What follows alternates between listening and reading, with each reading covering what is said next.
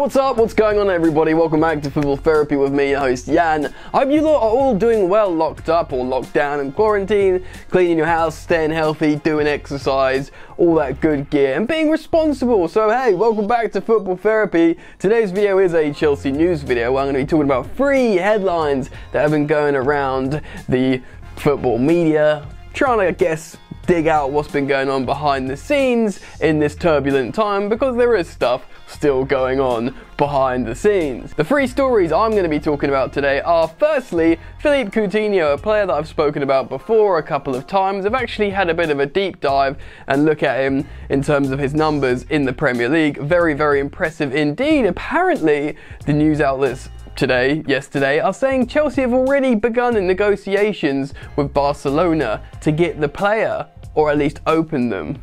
Weird, right? Really didn't feel like it was a problem position, but we'll talk about that. Willian is almost certain to leave in the summer, and the two most likely destinations are Arsenal and Tottenham. I do want to talk about that a little bit. And also Emerson Palmieri, the player that you think, oh, what could have been? He looked like dynamite at one point. He does want to stay and fight for his place at Chelsea apparently, but both Juventus and Napoli are in for the player, and he could be on his way. I just want to talk about him for a few minutes as well. But before I crack open all this good gear, I want to remind you guys to subscribe and make sure you do, if you want to subscribe, hit the bell notifications icon because most of my viewers aren't subscribed, so just make sure you are, man. Just click that little button, like the video if you want to help a brother out. All right, let's get into it. Before I talk about Philippe Coutinho, let's talk about Emerson, man, because he's going to be one of those players that I don't think anyone would particularly cry for because it does feel like it's not working with the Italian Brazilian. But if he does go somewhere and he does do really, really well, which you kind of feel like he's capable of doing, it would feel like another one that's got away. I'm not saying necessarily Chelsea should keep Emerson, but I just feel I was such a big fan of him at the end of last season and the beginning of this season. It just feels so peculiar. I guess if Chelsea get the necessary required transfer amount for him, then sell him and then put that to whatever Frank Lampard wants to use elsewhere for his project team build thing. So I get it, it just might feel like the one that's got away. A player in his prime who did demonstrate immense ability on the left hand flank with Eden Hazard and Ruben Loftus Cheek. He hasn't even got a chance really to, well, he hasn't got a chance to play with Ruben this season. So it's kind of sad really, but I guess he'll go in the summer probably to Juventus, I think. Marcos Alonso might go to Inter Milan. And both of them have actually got a lot to offer in their own way, so it kind of feels weird. And then Chelsea will have to completely reevaluate the left back spot with new players entirely. Of course, Ian Maatsen signed a long-term contract with Chelsea. He will back himself to be the rotational left back at Chelsea Football Club, with Azpilicueta still being able to fill in, I imagine. And then, of course, there'll be a new starting left back, which is very, very likely to be Alex Telles of Porto. So I just wanted to say a few words on Emerson, man, because I was a super fan. You could probably go back months on the channel and hear me wax and lyrical about the player and how good I think he is. So it's kind of sad, really. Oh well, let's move on. Before I talk about the Philippe Coutinho negotiations, actually, let's talk about Willian, the Brazilian. I can't. I, I hate rhyming, man. I'm gonna keep it in, but Willian the Brazilian. So he has been a good servant. He's won a lot of stuff with Chelsea. He's been frustrating at times. He's underachieved in terms of offensive metrics, assists and goals, but he's often shown that he's got an incredible work rate right up to being 31 years old. A proper Jose Mourinho player. He's going to work a lot off the ball and track back. I think Willian is going to end up at Tottenham Hotspur. He could go to Arsenal as well. The thing is, Willian's the kind of player that I think both Mikel Arteta and Jose Mourinho would really appreciate at present. Sure, he might not be a gunslinger in terms of goals and assists, but both of them are suffering defensively, and often it's because of collective team failures. Now, if you want a forward who has got a technical ability, who has got class, and no matter what you say about Willian, he's got both of those things. You know, he's won the Copa America, he can score free kicks, he's won the Premier League a couple of times, he does score a few goals, he's got an amazing defensive work rate for a winger. People like Mikel Arteta, he wants his players to run all the time. Sure, he probably wants a bit of like the school of Guardiola attacking game sort of thing. But he'll see, him and Jose will see what Willian brings, and if they can get him on a free transfer when the, you know, clubs are tight anyway because they don't have much money to spend, they'll probably both see value in that. Obviously, Arsenal might not have a lot of money coming in because they're still paying off the Pepe transfer and you know they're not necessarily going to get Champions League football. Well, it would be very unlikely for them to get Champions League football. And similarly, with Tottenham Hotspur, they'll be paying off the stadium and things are going to be tight anyway. So Willian is probably a really favourable option for both Tottenham and Arsenal. Would he go? Probably. He wants to stay in London. He's said very, very publicly Chelsea won't give me the contract I want.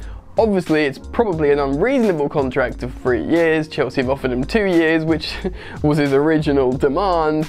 So, how do we feel about Willian if he goes to Tottenham or Arsenal? If he goes to Tottenham, the song that Chelsea fans have sung for the last few years is suddenly redundant. He didn't he doesn't hate Tottenham, he's ended up at Tottenham. At the same time, you know, maybe it'd be better for him to go to Arsenal and join David Luiz, his best friend slash restaurant business partner. I don't know, it's all a bit weird, isn't it? Anyway, do you think Willian going to say Tottenham or Arsenal will tarnish his legacy entirely, maybe, or not at all? Obviously, Cech got free pass to Arsenal. Let me know what you think. Express yourself in the comments down below regarding Willian going to a London rival. Alright, Philippe Coutinho. We all know the situation. A Premier League superstar at one point went to Barcelona in rather peculiar fashion. He sort of, I guess he went on strike, which off the bat is never a good sign, is it? Thibaut Courtois vibes. Still in his prime at 27 years old, he's probably available, well, he is available for transfer from Barcelona, who lent him, lent him, they loaned him to Bayern Munich, where he, you know, looks good at times, and they're not taking up the sort of option to buy him now. Apparently, Philippe Coutinho is going to be available, apparently, reportedly, for around 60 million pounds. 27 years old, in his prime, like what, a year or over a year younger than Hazard when he was sold for 120 million. I'm not comparing him to Hazard, he's more of a centre mid than Hazard, but Let's not forget for a second here. In the Premier League alone, Coutinho has 73 goal contributions for Liverpool.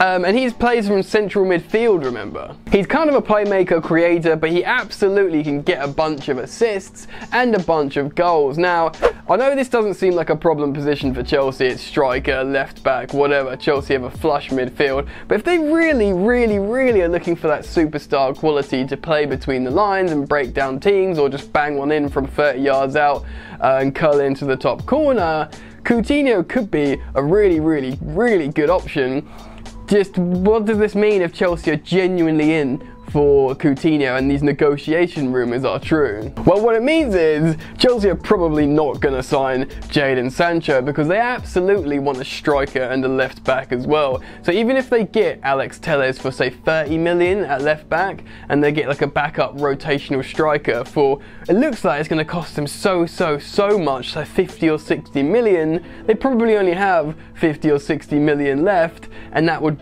theoretically go on Philippe Coutinho. I think both Chelsea and Manchester United have been put off on the price tag for Jadon Sancho. There's a lot of reports coming out saying both United and Chelsea said no, we don't want to pay even a hundred million for Sancho which is interesting because, you know, it would seem like he'd be worth that. So if Chelsea are thinking that, they'll go, you know what, we'll take Philippe Coutinho, proven in the Premier League, in his prime, superb quality, and he'll be half the price of Jadon Sancho. Granted, he's not a right winger, but Chelsea don't really, let's be honest, really have a problem position at right wing. Pulisic, Hudson-Odoi, and Hakim Ziyech can all comfortably occupy the right wing and the left, you know what I mean? Chelsea will probably buy back Boga or get another winger. So really, it's, I mean, I hate to remind everyone because everyone wants Jadon Sancho. It really isn't a problem position for Chelsea. And if they're like, look, we can get some real quality with Philippe Coutinho playing between the lines for half the price, who's proven in the Premier League that he can do loads and loads of offensive bits, it might make more sense. To be honest, personally, I never thought or would think that I'd be, yeah, get Philippe Coutinho to Chelsea, but as things sort of manifest, and you have a bit of time to reflect on football, Chelsea Football Club, what they're trying to do with Frank Lampard, how they've struggled in the past when they've had possession, they've had the ball. Jadon Sancho is great at dribbling, cutting in, superb. It would be great to have him. He's really good at counter attacking. That's why it'd probably be amazing for Manchester United. But all this season, when Chelsea have been camped outside an opposition's box and they've not been able to break them down, they need a superstar to play between the lines or curl it into the top corner from 30 yards out. And to be honest, when you think about it, that's pretty much Philippe Coutinho personified. That's the exact thing that he could offer Chelsea Football Club. And for a bargain price too, if you think about it. Plus, imagine the scenes, the hilarious scenes, when he inevitably scores against Liverpool at one point. That's worth so much alone. Anyway, what do you think about all the stories I've spoken about in today, today, today's video? Malfunctioning again. Philippe Coutinho, give me your verdicts. Get down in the comment section below. I want to hear it. Also, Emerson and Willian. If you've enjoyed the content today, guys, I'd urge you to please do like the video because it helps me out a lot. And if you haven't yet, please do subscribe to the channel and make sure you have hit that bell notifications icon. Follow me on social media as well. The plugs keep going. Follow me on social media at Football Yannick. All right, guys, enjoy the football that's not happening, and I will see you later. So tough with that bad boy tuck. I'ma get it how I'm living, I'ma walk the walk. Outline my lines, I rap through thought. Body bag the verse, outlined in chalk.